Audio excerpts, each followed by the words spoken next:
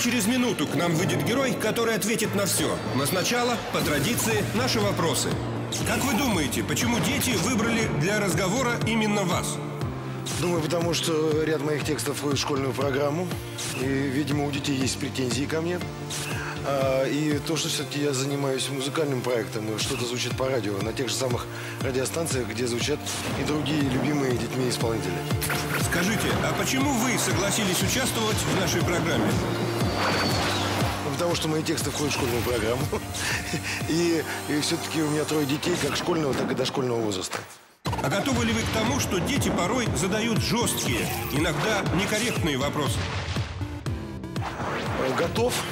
Я же говорю, что я отец троих детей. Если вы не сможете или не захотите отвечать, вы имеете право три раза отказаться отвечать на вопрос. Вы готовы выйти к детям? Да с удовольствием. Ну что ж, тогда желаю вам удачного разговора. Друзья, сегодня у нас в гостях режиссер, драматург, писатель Евгений Валерьевич Гришковец. Прошу вас, Евгений.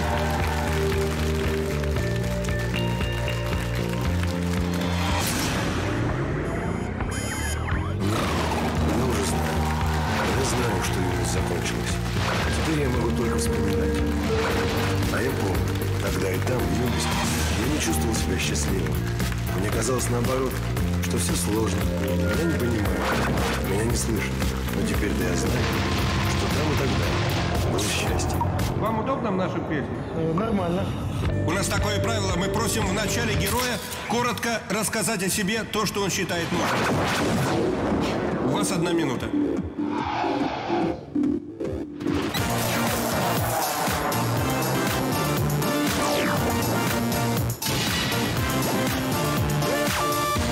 Пошло. Родился я 44 года назад в городе Кемерово, это сибирский город. Э, учился в школе, причем сменил 4 школы, э, так что у меня была довольно сложная школьная жизнь. Потом учился в университете на филфаке, служил 3 года на флоте. А в 98 году я уехал из э, города Кемерово в город Калининград, где я по-прежнему живу. У меня трое детей, я занимаюсь театром, пишу книги. Все. Спасибо. Готовьтесь к вопросам.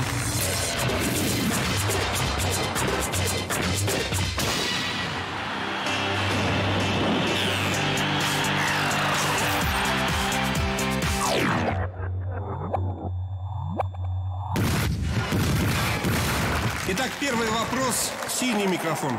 Здравствуйте, меня зовут Настя. Вы говорили то, что человек, который решил стать писателем, находится в большой опасности. Он может стать отвергнутым, несчастным, одиноким. Неужели вы на собственном опыте сделали это умозаключение? Да, конечно. Причем мне очень приятно. Это цитата из романа «Асфальт». Это мне, мне очень, я очень рад. А. Кни- Книжка совсем не детская и толстая, но там э, говорится о том, что это скорее жизненный опыт, связанный с моими знакомыми и друзьями. Я видел много раз, когда вполне себе успешный архитектор, юрист, экономист или вообще кто угодно вдруг решил стать поэтом или решил написать какой-нибудь сценарий или книгу. И вот это чудовищное желание, э, страшное, разъедающее желание что-то написать, а потом еще кому-то э, показать это, приводит человека к состоянию несчастья, потому что, как правило, ничего хорошего он не напишет. Мой же жизненный опыт совершенно другой. Я все-таки учился на фил- филологическом факультете, изучал теорию литературы и очень бережно и осторожно подошел к написанию своего первого текста. Э, И все-таки я уже определился с тем, что я профессиональный литератор и ничем другим не занимаюсь. А так вот человек написал стихотворение, оно плохое. Он э, был счастливым архитектором, а тут стал несчастным поэтом. Это опасное дело. Скажите, пожалуйста, а вы сами испытали вот эти чувства, став писателем? Что вы, нет, я сразу стал успешным писателем. Чего мы дальше желаем? Спасибо.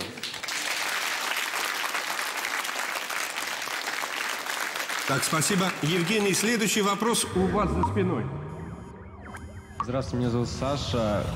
А как отличить хорошего писателя от плохого? Э, да никак его не отличишь. Вообще невозможно. невозможно. Дело в том, что вот э, нравится вам какой-то писатель. Ну вот нравится. Вы находите в нем то, что с вами э, соотносится. Вы понимаете, что он написал такую книгу и пишет такую литературу, в которой вы находите, что вот он каким-то образом написал для вас. А учитель литературы ваш, например, говорит, что это плохая литература. И вы же никогда не поверите в этом случае своему учителю. Вы будете э, ориентироваться на то, что вам нравится. И в этом случае нет критериев никаких. Ну, а так еще можно ориентироваться на то, чтобы ну, он был как-то нормально одет, хорошо выглядел, приличный человек. А вы сами себя к какому разряду больше относите? Я полагаю, что я хороший писатель. Э, э,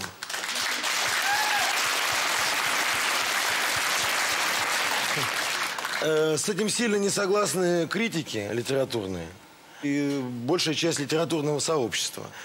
Я считаю себя писателем ответственным, э, несуетливым, пишу немного, э, меньше, чем одну книгу в год. Э, Я э, не дикий писатель, в том смысле, что я имею профильное такое профессиональное образование, которое позволяет мне э, знать, ориентироваться э, и понимать, как устроена книга. И э, я также знаю про себя, что я писатель, я, я писатель-реалист, почти соцреалист. Э, Каковых сейчас немного. Ну Вот. э, Я полагаю, что я с большим уважением и почтением отношусь к своим читателям. Что я ответственный не только писатель, но и человек. Но если бы я понимал, что эта книга плохая, то я не стал бы ее издавать и тем более продавать. Вот. Спасибо. Не за что. Евгений, здравствуйте. Меня зовут Богдан. Во многих ваших рассказах отчетливо прослеживается то, что вы пишете о городе Кемерово, а там, где вы родились. И я хотел вас узнать, как вы считаете, как должен человек относиться к тому месту, в котором он родился, вырос? Знаете, вообще то, то место, где ты родился, нужно стараться любить. В какие-то моменты это очень сложно э, делать. И был период, когда мне было тяжело в родном городе. Я его покинул в итоге. И уже 13 лет живу в совсем другом городе. Но только уехав и выйдя на дистанцию э, к тому месту, где я родился, где прошло мое детство, где были совершенно самые основные открытия и самые первые и самые сильные впечатления – только выйдя на дистанцию к этому месту, я понял, насколько оно мне дорого. И это не просто любовь. А, Вы знаете, город Кемерово ну, такой промышленный город, в котором небольшой центр, небольшая красивая набережная. Я все время жил на окраине, среди пяти, стандартных пятиэтажек. Любить эти пятиэтажки не обязательно. Нужно любить то, что с тобой было. И главное, конечно, тех людей, которые были в твоей жизни, в твоем детстве. Поскольку это самые яркие э, впечатления, детские и юношеские впечатления. Поэтому, что бы я ни описывал, даже когда я описываю город Архангельск, где живет мой герой, и там события детства, я все равно понимаю, что я описываю город Кемерово. Хотя э, г- говорят, что это происходило в Архангельске. Когда мой герой действует э, где-то в Москве, идет по Москве. Я почему-то понимаю, что я описываю свой детский маршрут а, от дома до парка, Комс- э, Комсомольский парк такой, где я гулял э, в детстве и катался там на лыжах. Вот, э, вот, вот неизменно, потому что это, это первые, самые сильные и самые, даже не то, что сильные, самые мощные впечатления, с которыми я никогда не расстанусь. Если мне снится какой-то город, это всегда город Кемерово. И надо любить. Чё, ну, любить сложно его. И надо разобраться с тем, что ты, собственно, в этом городе любишь. А еще вопрос. Вот вы сказали, что вы в 32 года уехали из Кемерово. А если не секрет, то почему вам было сложно? Почему? Знаете, это займет очень много времени. Я не отказываюсь от вопроса, но потому что мне, мне так было нужно. И, э, Богдан, вот пройдет какое-то время, а мы с вами встретимся, мне будет лет 50, а вам будет там сколько-то побольше. Я тогда отвечу вам на этот вопрос. Ответ на этот вопрос э, боюсь, что вам пока не своевременен. Вот, вот просто чуть-чуть рановато. Я очень редко, поверьте, друзья, я очень редко прибегаю к такому аргументу, что я вас старше, и поэтому я не могу объяснить что-то. Это самый худший аргумент. Но в данном случае это действительно так, э, потому что вот нужно дожить там до 25-30 лет, чтобы, ну, чтобы услышать ответ. Спасибо большое. Не за что. Извини, извините. Теперь, пожалуйста, красный микрофон. Здравствуйте, меня зовут Александра. Э, Какими тремя прилагательными вы могли бы описать свое детство? Э, Я могу описать его одним существительным – счастье. Следующий вопрос. Так, Здравствуйте, здрасте. Евгений. Меня зовут Наталья. Я активно слежу за вашим творчеством. И я смотрела спектакль «Как я съел собаку», и вот там такой один момент. Это когда садишься с утра перед школой на диван и одеваешь брюки, то понимаешь, что это самый прекрасный момент за день. А вот был ли у вас такой момент в жизни, когда вы поняли, что «ах, это хорошо»? И, для тех, кто, может быть, не видел этого спектакля, там есть момент, когда утром ребенок, причем там не- сказано на диван, это вот, видимо, вы на диване одеваетесь, а я там говорю, что он садится на кровать, э, ребенок утром, зимой, перед тем, как идти в школу, одевается, натягивает штаны, натянул одну штанину, стал натягивать другую, да так не дотянул, да и так и замер. И сидит, и как бы его нет, и нет никаких желаний, ни хорошо, ни плохо, вот так бы оставили в покое, вот так бы и жил бы, слава тебе, Господи. Но тут родители крикнули, ты что там уснул? И ты, ну, и так далее. Конечно, в детстве я не мог этого оценить, что это прекрасный момент. Я э, э, ощутил, что это прекрасный момент и вспомнил его. Не потому, что я это вспоминал, а просто увидел, как моя дочь, которая сейчас 15 лет, и которую также зовут Наташа, вот, а, как она, бедная, э, одевается в школу, и как она медленно все это делает, в какие-то моменты замирает. И увидев ее, я вспомнил себя и понял, я понял, и я никогда резко ее не бужу. Там, ну-ка быстро вставай, там, ну-ка, я же понимаю, насколько это нежное, чувствительное и ужасно вот такое вот трогательное время, подъем утром, чтобы идти в школу, да еще и зимой. Я никогда ее не отдергиваю, не стараюсь торопить. И понимаю также, что, собственно, даже небольшое опоздание, э, как я говорю, крамольные вещи сейчас, даже небольшое опоздание в школу, это не так страшно, как вот это вот ужасные окрики, т- торопливое, э, мучительное одевание утром перед тем, как идти в школу. И я постарался сделать так, чтобы мои дети не боялись мне признаться в том, что у них, например, не самая лучшая оценка по такому тому или иному предмету. И я только единственное хот- э, ста- старался сделать так, чтобы мои дети понимали, что хорошая оценка, особенно по тому предмету, который им нравится, это достижение, это здорово. Но если не хорошая оценка, они знают, что я ругать не буду. Я могу быть не, я могу быть от этого не рад, или могу быть там в какой-то момент несчастлив от того, что меня дети не порадовали оценкой. Но ругать я не буду. Вот. И поэтому утром я хорошо помню себя, глядя на своих детей. Вот. Хорошо, спасибо.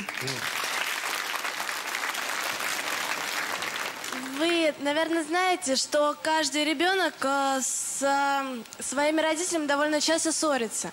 Как вы считаете, кто в этом виновен, так сказать? Ну, ссориться, наверное, я не знаю, я не, не ссорился, у меня не было момент, моментов ссор. С, вот мне- у меня дочери 15 лет, а сыну скоро 7. А младшей дочери всего год, э, с ней поссориться невозможно. А, Бывают моменты непонимания и отчаянного непонимания. Но я знаю момент, когда дети ссорятся, может быть, и будут ссоры. Я знаю также, что я пропускал какие-то моменты, не придавая им значения, и понял, что моя дочь э, на меня обиделась. А я не, не заметил этого. Ну, вот просто не заметил. А она мне не сказала. Но полагаю, что э, всегда, всегда взрослый человек виноват. Виноват взрослый, потому что он старше, потому что он мудрее, и потому что он лучше должен понимать ситуацию, должен, обязан быть внимательнее и предотвратить э, ссору. А вы извиняетесь, когда чувствуете, что вы не правы? Конечно. Конечно. Обязательно. Всегда. Я даже, я извиняюсь, даже когда я полагаю, что я не, может быть, не так уж не прав, а может быть, даже был прав. Но чтобы снять напряжение, я лучше извинюсь. Потому что, да неважно, кто прав или кто не прав. Если возникает напряжение, чувствуется, что вот тот человек, с которым мы поссорились или возникло напряжение, а он не может. Ну, не может. Есть такие люди, которые совершенно не умеют извиняться, совершенно не умеют благодарить. Э, Я лучше позвоню и скажу, слушай, извини, я как-то был неправ или там что-то я погорячился. Потому что прав я или не прав, это не так важно. А человек ценнее. Понимаете, вот взаимоотношения с человеком намного ценнее. Спасибо. Евгений, справа от вас вопрос. Синий микрофон. Здравствуйте, Евгений. Меня зовут Ксения. А, У меня к вам такой вопрос.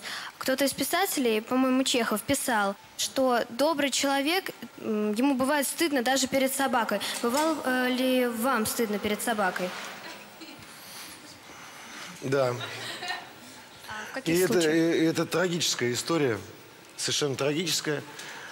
У меня была собака, со- ну, то есть абсолютно мною любимая. И доктор, ветеринар убедил меня в том, что собаке нужно э, почистить зубы, зубной камень. Я говорю, бог, бог ты мой, у меня было много собак. Никогда раньше собаки зубы не чистили. Да что вы... Ну, понятно, что он просто хотел сделать такую процедуру, чтобы я заплатил за эту операцию. Причем эта операция делается под общим наркозом. И вот они ошиблись с, с наркозом, и моя собака погибла. Причем умирала тяжело и мучительно. А когда ее везли на эту операцию, он очень не хотел. Он отчаянно не хотел туда ехать, но мы, люди, полагаем, что мы лучше знаем, что собакам надо, да? Вот э, мне не то, что стыдно. Э, это такая э, трагедия высокомерия человеческого перед тем, что, ну вот, не хотела собака, но прислушайтесь к тому, что она не хочет чистить зубы. Не положено собакам чистить зубы. Э, не надо им этого. Вот Макс, его звали Макс, э, погиб. Это было два с половиной года назад.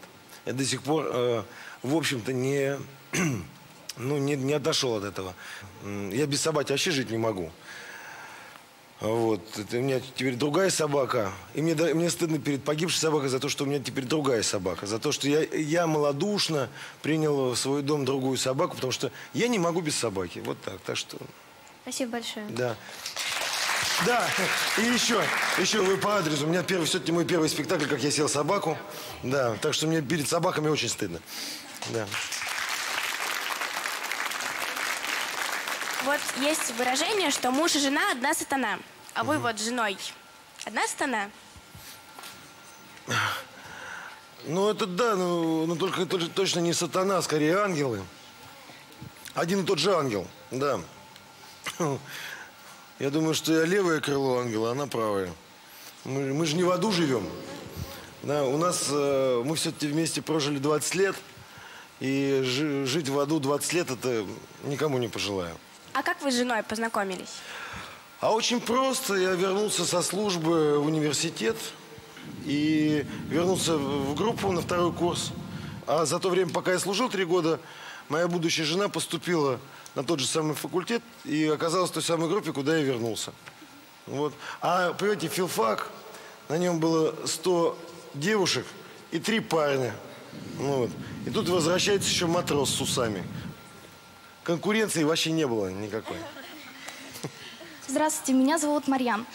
Вы сказали, что служили на флоте. Можете ли вы рассказать какую-нибудь самую яркую историю из этого отрезка своей жизни? Самое яркое заключается в том, что меня же призвали служить э, из университета. Я был студентом филфака, изучал литературу, и тут меня, представляете, забирают, и я становлюсь моряком. То есть ношу морскую форму, попадаю во все это. И это было самым ярким, конечно. Э, Это было таким странным событием, что я все три года никак не мог поверить, что я стал моряком. Настоящим вот таким, который вот настоящий моряк. Э, Мне до этого это ни в, ни в самом страшном, ни в самом прекрасном сне не могло присниться. Я, знаете, довольно много про это написал. У меня есть, э, есть спектакль, есть целый ряд рассказов про это. Поэтому выдергивать что-то помимо этого я не стал бы. Другое дело, что вот эта служба, вот эти три года очень экзотической жизни, это такая, это такая странная деятельность, что это является все-таки предметом моей гордости. Я горжусь тем, что я был моряком. С другой стороны, все-таки это было, было настолько часто настолько непросто, настолько сложно и часто очень э, унизительно, что я не пожелал бы никому из здесь присутствующих юношей пройти то же самое. И э, вообще полагаю, что человеку не обязательно иметь такой опыт. Ну, Вот так бы я ответил. У меня еще один есть вопрос. Пожалуйста. Какая ваша самая любимая строевая песня? Ну, строевых песен, как вы понимаете, у моряков немного, потому что моряки строев не ходят. У меня есть любимый марш. Это марш прощания славянки. Он, слов его я не знаю, а музыка прекрасная. Это такой торжественный марш, в котором есть много грустного.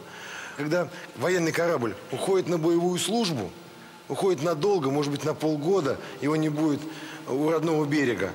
На берегу или на пирсе стоит оркестр и играет марш прощания славянки. Это торжественно, прекрасно и грустно, и жены или девушки машут своим морякам.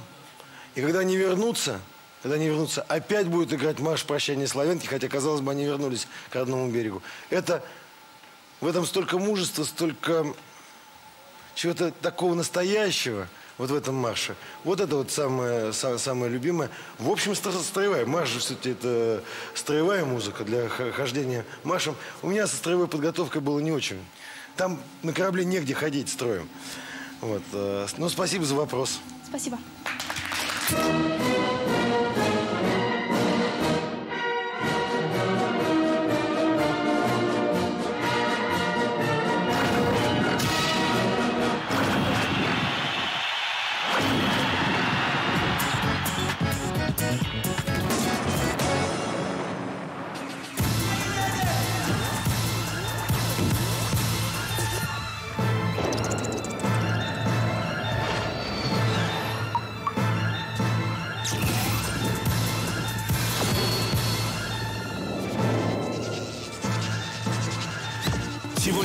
Гостях писатель, драматург и режиссер Евгений Гришковец. Продолжаем разговор. Здравствуйте, Здравствуйте. меня зовут Катя. У меня к вам такой вопрос. Что главное в семейной жизни? Любовь. Любовь, конечно. Из нее исходит все остальное. А... Без любви невозможно. Будет нарастать раздражение, обиды. И становится все это превратиться в какое-то странное исполнение обязанностей. Любовь э, со временем трансформируется. Конечно, когда два человека живут не один десяток лет вместе, то та любовь, которая была изначально, которая послужила причиной, собственно, э, создания семьи, она превращается во что-то другое. Но без любви это... Без любви жизнь по привычке станет довольно сильным мучением. Если человек не любит своих детей, он на них раздражается, он мучает, дети своим присутствием мучают родителей, если они их не любят. А любовь, любовь э, спасет. Спасибо. Здравствуйте, да, у меня к вам такой вопрос. Вот э, вы сказали, что очень любите собак. Что они вам такого доставляют, какую-то радость или какие чувства, что э, вот вы как к ним так относитесь? Ведь у вас есть семья, жена, дети. Помните э, рассказ Каштанка. Да. Да? Где собака любила вот этого вошливого человека, вот вошливого старика, который постоянно ее ругал. А потом она попадает в удивительный мир цирка, где ей интересно, где ее любят, где у нее есть даже какие-то моменты творчества, где ценит ее талант этой собаки. И она, не задумываясь, возвращается к своему хозяину.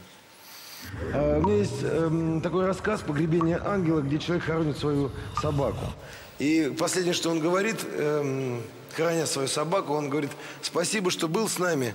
Э, мы любили тебя, но ты э, любил нас сильнее. Собаки – такие существа, которые почему-то нас любят, какими мы есть, какие бы вот мы ни были. Они нас принимают и любят. И они нам рады, даже когда мы вот ушли выбросить мусор, через минуту вернулись, она радуется тому, что мы пришли. Но у них вот есть любовь к человеку. Вот, вот, вот такая вот любовь без всяких причин, вопреки любым причинам и обстоятельствам. Понятно. Вот. Спасибо. Здравствуйте, Здравствуйте, Евгений. Меня зовут так же, как и вас, и у меня к вам такой вот вопрос. Вы же знаете, что вот люди испытывают страх перед одиночеством. Ну, а вы знаете вот что может быть страшнее одиночества? Не, конечно, страшнее одиночества ничего не может быть. Э, я не могу себе... Бывает э, только то, что... Знаете, когда Женя, когда э, вы Эм, по-настоящему столкнетесь с одиночеством, подлинным одиночеством, а вы, любой нормальный мыслящий человек э, некого европейского сознания, э, вы непременно с этим столкнетесь, вы поймете, что э, самые большие усилия нормальный человек тратит на то, чтобы не быть одиноким. А, мы дружим, и отдаваясь дружбе честно и искренне, часто идя на какие-то поступки и жертвы ради дружбы. Мы влюбляемся, создаем семьи, рожаем детей, чтобы не быть одинокими. Но даже в кругу самых родных людей человек часто бывает очень одинок. Главное не ощущать, что одиночество – это норма.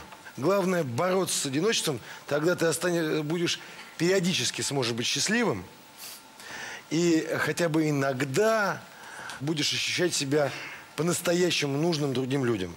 И тогда ты будешь понимать, что все-таки жизнь не бессмысленна. А есть такие люди, и я знаю их, это отчаянно несчастные люди, которые к одиночеству привыкли и находят оправдание одиночеству, полагая, что одиночество, собственно, это, это нормально. Это, ну почему нет? Вот это ужас. Это когда человек сдается. Хотя мы, конечно, все, все, особенно в зрелом и осмысленном возрасте, все испытываем одиночество, понимая, что мы, в общем-то, обречены на него. Но борьба с одиночеством это, – это и мужество, и в этом есть какое-то достоинство. А вы часто бываете одиноким? Да. Да, и я часто бываю несчастлив. Но я вот э, с вами здесь поговорю, а потом вечером поеду играть в спектакль. И на спектакле будет 500 человек, которые пришли, решили потратить два часа времени на то, что для меня важно, и то, что, то, что я написал. И я буду абсолютно счастлив вот эти два часа, когда люди будут слушать и слышать то, что я буду говорить со сцены. Потом, после спектакля, я опять снова буду одиноко ехать э, домой и буду ощущать себя довольно одиноким. Ну, это нормально, это жизнь. Спасибо. Угу, а, сколько есть людей на Земле, которым вы бы могли сказать «я люблю тебя»? Наверное, это неправильно, но я понял, что я э, в целом, в целом, человечество люблю не очень. А, но я люблю отдельных людей, но сильно. Вот. Я люблю тех, вот по-настоящему, как я могу сказать, я люблю тебя, это все эти мои знакомые, это мои дети, родственники, моя жена, моя мама, мой брат, отец мой и так далее. И какое-то небольшое количество моих друзей. Я с большим доверием отношусь к, ко всем людям, которых я не знаю. То есть я до, очень много, что называется, обламываюсь. Но тем не менее, я стараюсь не делать из этого никаких выводов. Понимаете? А в, если я доверяю любому человеку, с которым я знакомлюсь, в, в доверии – всегда есть хотя бы немного любви. Вот доверяю я практически всем. А люблю только своих родных и знакомых. Еще я люблю ряд музыкантов, которые меня не знают, даже иностранных. Прямо люблю. А, люблю артистов а, любимых. Люблю целый ряд писателей, которых уже нет в живых. Вот. А, но у меня с ними свои какие-то отношения. Но, а доверяю я почти всем. У вас был блог. Угу. А, скажите, пожалуйста, зачем вы его удалили? Я убил его, чтобы, знаете, я писал об этом там. Я э, ушел из Life Journal, вообще ушел из социальных сетей, отчетливо осознав всю порочность и пагубность фиктивного интернет-общения. Э, я вот, вот уже месяц не захожу в интернет – и ощущаю вот настоящую жизнь, радость ее. Потому что, конечно, интернет оттягивал очень много. То почему я его убил? Я туда не хотел заглядывать, но при этом то, что я туда писал, этот блог, мой дневник, мне там было много и дорого. Я же писал то, что для меня является важным, часто заявляя не бесспорные вещи, но то, на чем я настаиваю, и то, за что я несу ответственность. И я не хотел, чтобы он там валялся, знаете, каждый может пнуть, и каждый может выдернуть любую страницу и использовать ее, извините меня, по какому-нибудь очень неблагодарному делу. Поэтому я его оттуда удалил. И предлагаю его, э, этот вот свой дневник, читать в виде книжек. То есть купить эту книгу и прочесть то, что, ровно то, то, что я там писал. И еще я полагаю, что пройдет непонятно сколько времени, но мне кажется, довольно скоро, будет довольно массовый отток из социальных сетей. Потому что вдруг э, вот те самые э, люди, которые очень много времени и сил, и душевной энергии тратят вот на это интернет-общение, поймут, что это фиктивно, что это э, не настоящее, и что э, видеть глаза собеседника совершенно необходимо. Не по скайпу, а вот в, э, в, жи в жизни. И что очень важна живая интонация, живая реакция и тепло того человека, который, с которым ты... И это ничем не заменить. Вот я прямо вот предсказываю, что через какое-то время будет как бы возвращение к, к корням, к природе и к подлинному общению. Будет большой отток оттуда. Теперь, пожалуйста, красный микрофон. Да, здравствуйте. Здравствуйте. А, Меня зовут Данила. А, Я увлекаюсь музыкой. И э, меня волнует то, что многие говорят о том, что довольно сложно пробиться. И э, порой не хватает таланта, и нужно иметь там либо какие-то связи, либо еще что-то. Понятно, что нет там какого-то универсального варианта, чтобы выбиться. Но, может быть, там что-то подскажете. Подсказать. Вот знаете, э, вот мне так сложно про это ска- сказать что-то. У меня есть такое сильнейшее ощущение, что мне повезло, и э, я стал известным очень быстро. В 2000 году я получил э, сразу две золотых маски. Это все-таки такая национальная театральная премия. Потом поехал по крупнейшим фестивалям э, европейским. Лондон, Париж, Вена, Берлин и так далее, так далее. А в 1984 году я занялся пантомимой. Занимался в никому неизвестной студии пантомимы и долго занимался какими-то экзерсисами, совершенно никому не нужными. Потом около 10 лет я занимался самодеятельным студенческим театром в городе Кемерово и делал маленький театр, где, в котором было 80 мест. Потом жутко мыкался вообще. И потом, и после этого всего бабах. А мне уже в, этот, в это время было, извините, 33 года, когда я стал известным. А уже потом, став известным, я написал книгу, которую уже ждали. И у меня не было момента, когда я пробивался. Хотя, а что я до этого делал? Я не знаю. Э, нужно об этом не думать, это точно. Вот точно. Э, нужно играть ту самую музыку достойно, спокойно, вдумчиво играть. Е- Слушает 10 человек, играйте для 10 человек. Я совершенно убежден, что по-настоящему талантливое не имеет шансов быть незамеченным. Вот по-настоящему. Спасибо. Здравствуйте, меня зовут Антон. Я очень хотел вас спросить, э, какую, вот, по вашему мнению, самую большую ошибку в жизни вы совершили? Я полагаю, что не совершал ошибок больших. Самые большие ошибки это были какие-то м, какие-то ссоры и какие-то моменты э, гнева и раздражения. Когда я позволял себе какие-то грубости в отношении людей. Но больших ошибок, за которые бы мне было... э, то есть я бы сейчас бы вот жалел бы. Вот бы вернуться на 20 лет назад и поступил бы я иначе. Вот такого не было у меня. Может быть, повезло. Друзья, время программы подходит к концу. Ну хорошо, давайте еще один вопрос. Да. У нас в конце программы есть такая традиция показывать язык. Вот вы можете показать язык?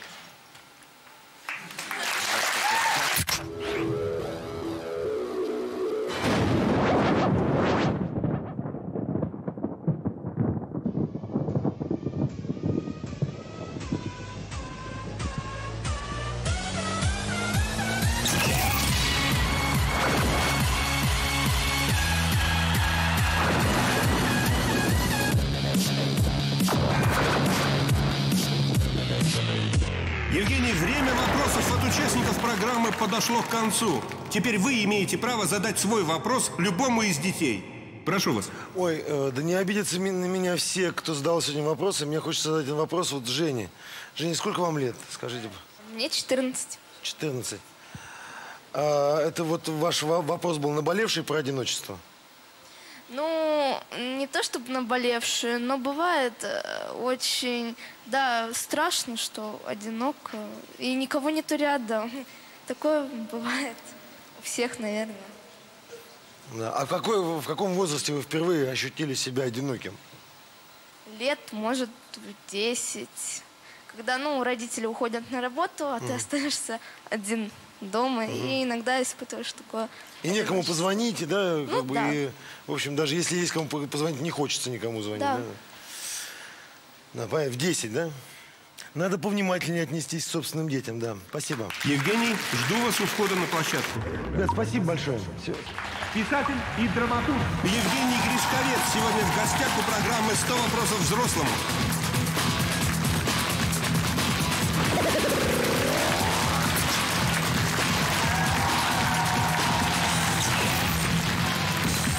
Евгений, здесь прошу вас ненадолго задержаться. Хотел спросить вас, какой из заданных сегодня вопросов вам показался наиболее сложным? Наиболее сложным был вопрос про одиночество. Поскольку на него он, он не так сложен. Это э, на него было сложно отвечать э, в детской аудитории. Здесь нужно было найти те слова, э, которые были бы, я полагаю, понятны детям. И еще ни в коем случае не намекнуть, что у них ну, некий э, меньший жизненный опыт. Вот, э, потому что это сразу отталкивает и сразу э, разобщает. Хорошо. А задавали вам сегодня традиционные вопросы? Вопросы, на которые вы устали отвечать? Нет, кстати, нет. Таких привычных журналистских вопросов не было, слава богу. Ну да, вопросов о творческих Да, планах. да, типа такого. Наша программа называется «100 вопросов взрослому». Сегодня вы успели ответить только на 25. Если вас еще раз позовут в такую аудиторию, вы согласитесь прийти? С радостью. Ребята, а вы хотите, чтобы Евгений пришел к нам еще раз? Хорошо. А почему вы этого хотите? Кто первый ответит?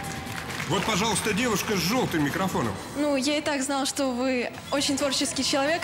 Спасибо большое, мне было очень приятно пообщаться, ну вот, не с коммерческой личностью, а которая вот говорит правду, вот, которая интересна ему. Спасибо огромное. Спасибо. Я бы очень хотел спросить, попадали ли вы в милицию, но я не успел, и поэтому мы ждем вас еще раз на этой передаче. Евгений, я многого вам не смог сказать, а точнее я вам ничего не смог сказать, но я очень рад, что вы пришли в телешоу и очень вам благодарен. Вы отвечали очень уверенно и очень открыто. Спасибо вам огромное.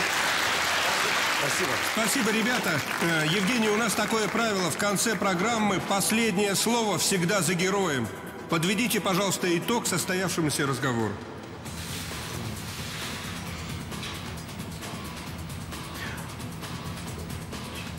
Я существенно прожил все то самое время, которое мы общались. Существенно и содержательно. Писатель, драматург и режиссер Евгений Гришковец был сегодня героем программы «100 вопросов взрослому». Дорогие друзья, до встречи через неделю.